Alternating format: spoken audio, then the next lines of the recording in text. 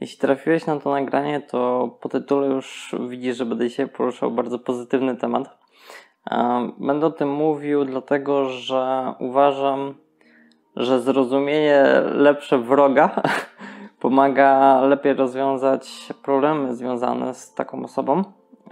Nie zawsze, lub chyba nawet mogę powiedzieć nigdy praktycznie, nie da się zmienić osoby, która jest e, socjopatyczna, psychopatyczna, narcystyczna, ale samo zrozumienie, z jakiego położenia wychodzi taka osoba, może pomóc Tobie e, w poradzeniu sobie z problemami, z którymi się być może borykasz.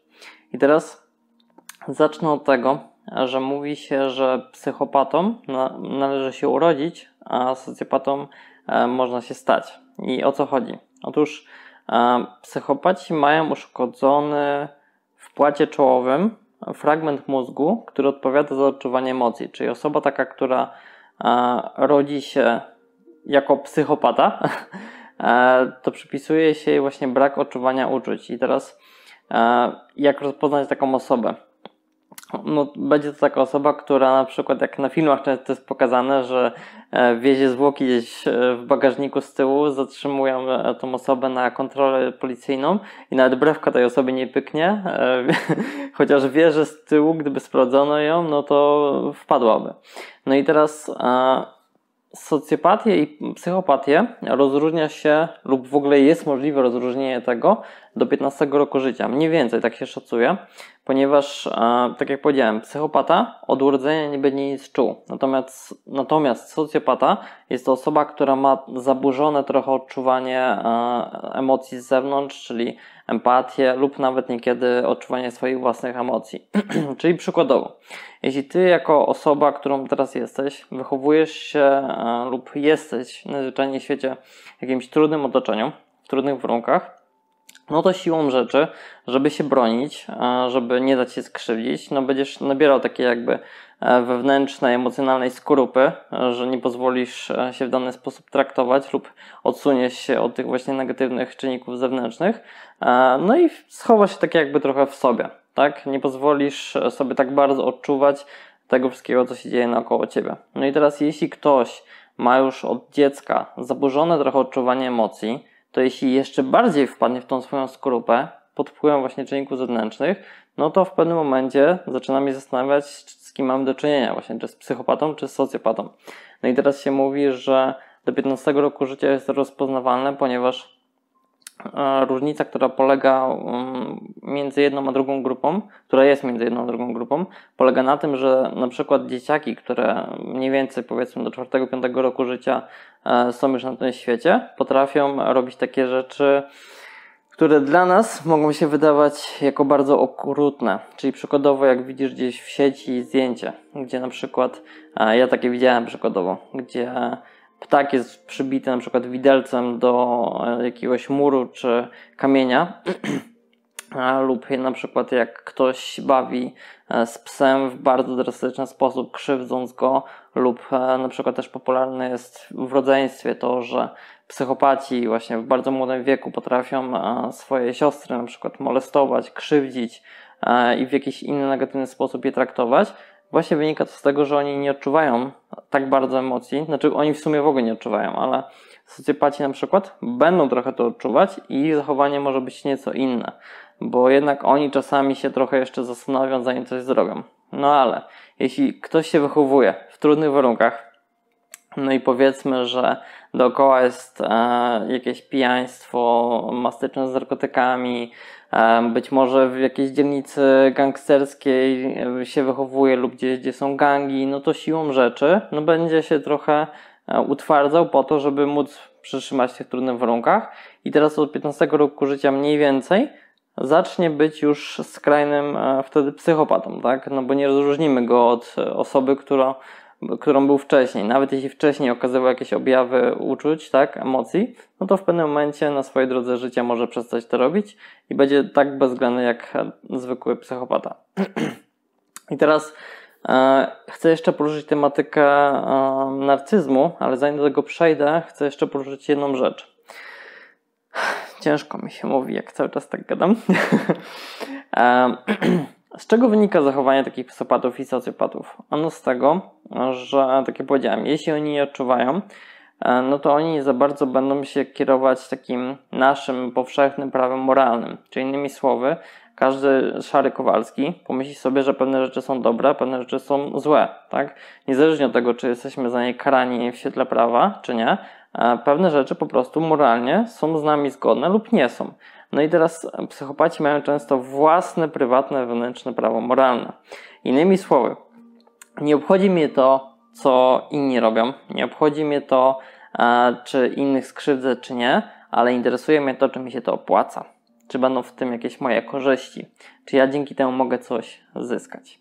I takie e, właśnie zachowania mogą się objawiać u psychopatów i socjopatów, i oni w ten sposób będą myśleli. Czyli jeśli sobie pomyślisz, że ja zmienię takiego człowieka, że spróbuję, bo jeśli na przykład jesteś empatą, empatii często trafiają do relacji e, właśnie narcystycznych często, ale też i psychopatycznych i próbują zmieniać taką osobę, a to nie jest możliwe niestety i trzeba się z tym liczyć. I dlatego też mówię, e, że warto zrozumieć z jakiego położenia wychodzi taka osoba, bo jeśli to zrozumiesz, no to nie będziesz się zamęczać, nie będziesz próbować robić się matki Teresy i próbować na siłę zmieniać osoby, która tak naprawdę traktuje ciebie praktycznie jako przedmiot, jako narzędzie do uzyskania jakichś swoich, e, nie wiem, zysków czy czegokolwiek innego.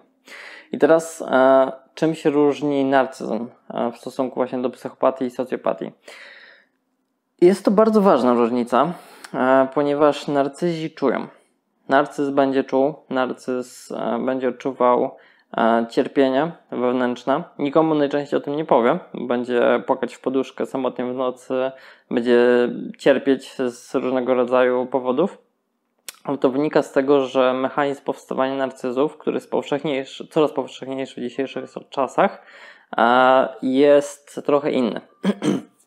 Narcyz to osoba, która od dziecka najczęściej jest wychowana w takich warunkach, gdzie jest karcona za to, gdy zachowuje się naturalnie, gdy okazuje właśnie na przykład emocje, gdy zachowuje się jak on lub ona sama by chciała i jest kształtowana w taki sposób, że nakazuje się tej osobie zachowywać nieco inaczej. Czyli innymi słowy, nie zachowuje się tak jak ja chcę, tak jak ja czuję, tak jak e, nie żyję właściwie na własnych zasadach, przez co zatracam poczucie własnej wartości i staram się podporządkować i dopasować do społeczeństwa zewnętrznego.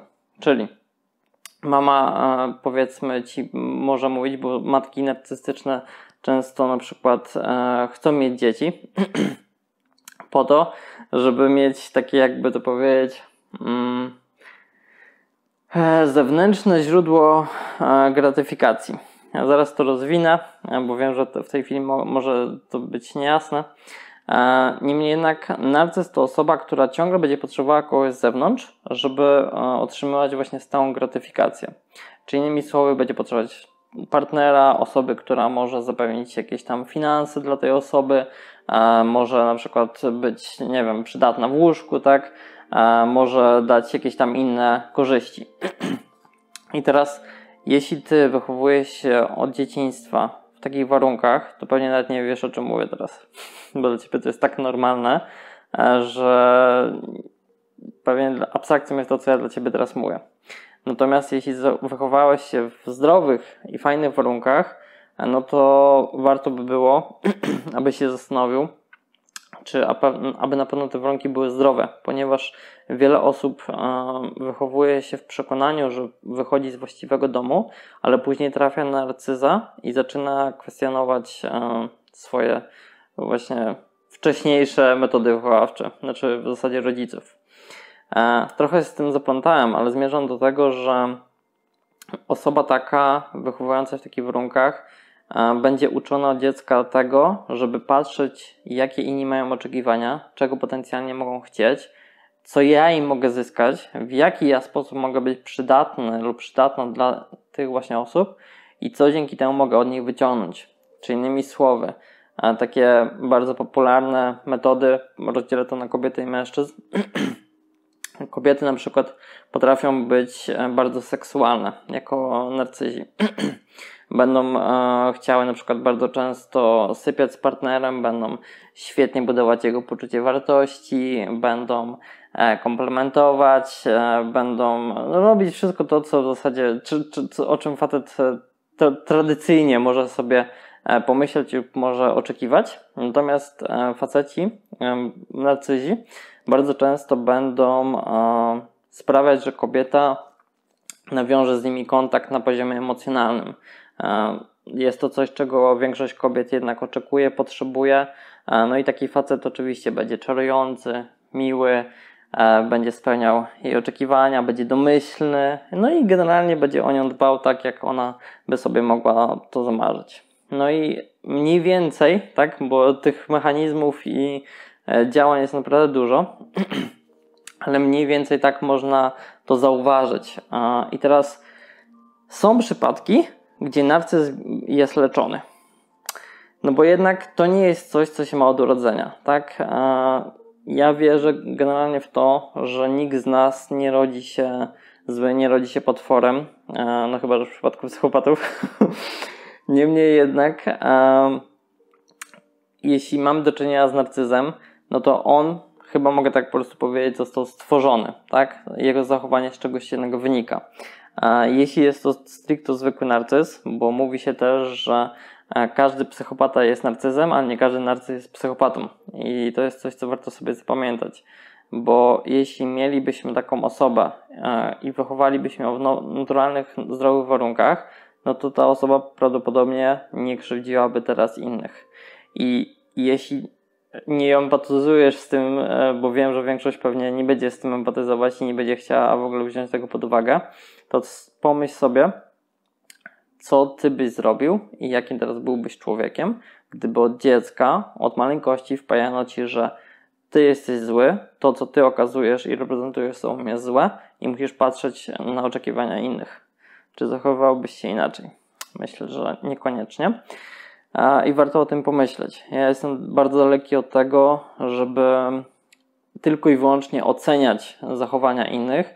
Ja zawsze staram się brać pod uwagę, z jakiego położenia oni wychodzą. Innymi słowy, jak rura pęknie, to woda się leje. To jest oczywiste, tak? Ale żeby zablokować ten przeciek, no trzeba zlokalizować najpierw tą dziurę.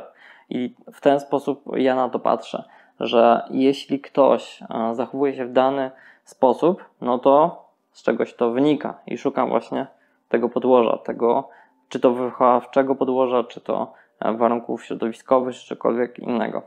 I takie samo podejście Tobie e, sugeruję. No i zostawiam przemyślenia Tobie. Wiadomo, jeśli będziesz miał pytania, no to widzimy się w sekcji komentarzy. Także tyle na dziś. Dzięki za to nagranie, jeśli wysłuchałeś go do końca. E, I do zobaczenia w następnym materiale. Pa, pa.